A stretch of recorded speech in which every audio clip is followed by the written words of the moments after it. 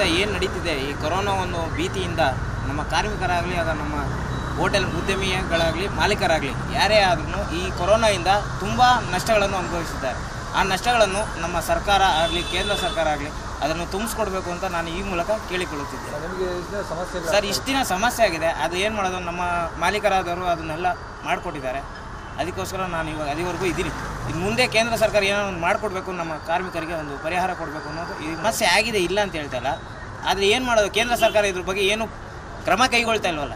Main ನಮ್ಗೆ ಆ ಕ್ರಮ ಕೈಗೊಂಡ್ರೆ ನಮಗೂ ಒಳ್ಳೇದಾಗುತ್ತೆ ಅದು ನಮ್ಮ ಮಾಲೀಕರಿಗೂ ಒಳ್ಳೇದಾಗುತ್ತೆ ಅನ್ನೋ ಇದು ನಿಟ್ಟಿನಿಂದ ನಾನು ಹೇಳ್ತಾ ಇದ್ದೀನಿ. ನಿಮ್ಮ ಹೆಸರು? ಸರ್ ನನ್ನ ಹೆಸರು ಶಿವಕುಮಾರ್ ಅಂತ. ನಾನು ನಮ್ಮ ಚಂದ್ರಶೇಖರ್ ಶೆಟ್ಟರು ಎಂಬ ಓನರ್ ಅಡಿಯಲ್ಲಿ ನಾನು ಕೆಲಸ ಮಾಡ್ತಾ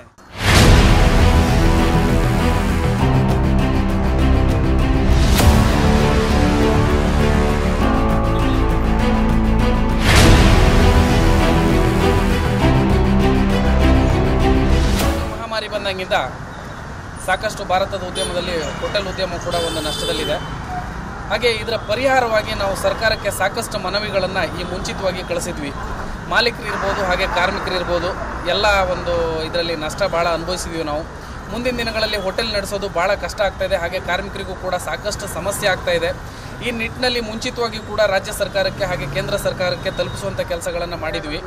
ಹಾಗೆ ಇದ್ರ ಕಡೆ ಸರ್ಕಾರ ಹೆಚ್ಚಿನ ಗಮನ ಕೊಡದೇ ಇರೋ ಕಾರಣಕ್ಕಾಗಿ ಇಂಥ ಒಂದು ಸಂದರ್ಭದಲ್ಲಿ ಈ ವಿಭಿನ್ನವಾದ ಒಂದು ಪ್ರತಿಭಟನೆ ಮಾಡಬೇಕಾಗಿರುವಂಥ ಒಂದು ಅನಿವಾರ್ಯ ಸ್ಥಿತಿ ಬಂದಿದೆ.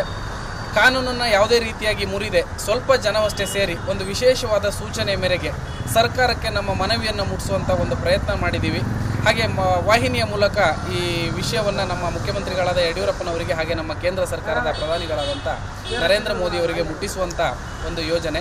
ಮುಂದಿನ ದಿನಗಳಲ್ಲಿ ಹೋಟೆಲ್ ಮಾಲೀಕರಿಗೆ ಹಾಗೆ ಕಾರ್ಮಿಕರಿಗೆ ಪರಿಹಾರ ಸಿಗದಿದ್ದರೆ ಯಾವ ರೀತಿಯಾಗಿ ಹೋಟೆಲ್ ಉದ್ಯಮದಲ್ಲಿ ಇರುವಂಥ ಮಾಲೀಕರು ಹಾಗೆ ಕಾರ್ಮಿಕರು ಪರಿವರ್ತನೆಗೊಳ್ಳಬಹುದು ಅನ್ನುವಂಥ ಒಂದು ಇಮ್ಯಾಜಿನೇಷನನ್ನು ಈ ಚಿತ್ರಗಳಲ್ಲಿ ನಾವು ತೋರಿಸುವಂಥ ಪ್ರಯತ್ನ ಮಾಡಿದ್ದೀವಿ ಕೆಲಸ ಮಾಡ್ತಾ ಇರುವಂಥ ಒಬ್ಬ ಕಾರ್ಮಿಕನಿಗೆ ಮುಂದಿನ ದಿನಗಳಲ್ಲಿ ಕೆಲಸ ಸಿಗದೇ ಇದ್ದರೆ ಒಬ್ಬ ಕಳ್ಳನಾಗಿ ಪರಿವರ್ತನೆಗೊಳ್ಬೋದು, ಕೊಲೆಗಾರನಾಗಿ ಪರಿವರ್ತನೆಗೊಳ್ಬೋದು, ಹಾಗೆ ಅವನು ಮಾನಸಿಕವಾಗಿ ಅಸ್ವಸ್ಥನಾಗ್ಬೋದು, ನೇಣಿಗೆ ಶರಣಾಗ್ಬೋದು, ಸಾಲಗಾರನಾಗ್ಬೋದು, ಹಾಗೆ ವಿವಿಧ ರೀತಿಯಾದ ತೊಂದರೆಗಳನ್ನು ಮಾಲೀಕರು ಹಾಗೆ ಕಾರ್ಮಿಕರು ಅನುಭವಿಸುವಂಥ ಪರಿಸ್ಥಿತಿ ಬರುತ್ತೆ.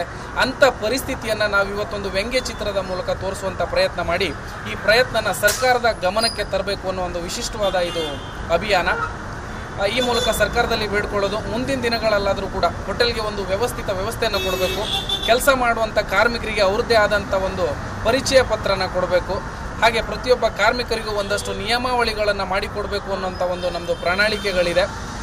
ಸಂಬಂಧಪಟ್ಟ ಸರ್ಕಾರಕ್ಕೆ ಅದನ್ನು ಕಳಿಸಿದ್ದೀವಿ ಹಾಗೆ ನಮ್ಮ ಹಿರಿಯ ಸಂಘಗಳಿಗೂ ಕಳಿಸಿದ್ದೀವಿ ಮುಂದಿನ ದಿನಗಳಲ್ಲಿ ಈ ವ್ಯವಸ್ಥೆಯನ್ನು ನಮಗೆ ಸರ್ಕಾರ ಮಾಡಿಕೊಡಬೇಕು. ಹಾಗೆ ಈ ಕೊರೋನಾದಿಂದ ಆಗಿರುವಂಥ ನಷ್ಟಕ್ಕೆ ಸರ್ಕಾರ ಕೈಲಾದಷ್ಟು ಪರಿಹಾರ ಕೊಡಬೇಕು ಅಂತ ಸರ್ಕಾರದಲ್ಲಿ ನಮ್ಮ ಮನವಿ.